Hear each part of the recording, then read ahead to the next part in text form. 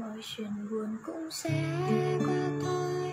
Vì có anh ở đây rồi. Tựa vào vai anh đi, anh sẽ thấy bình yên.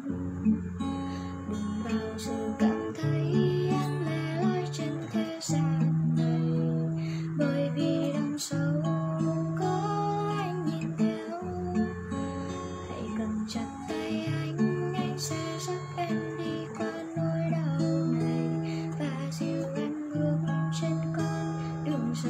就。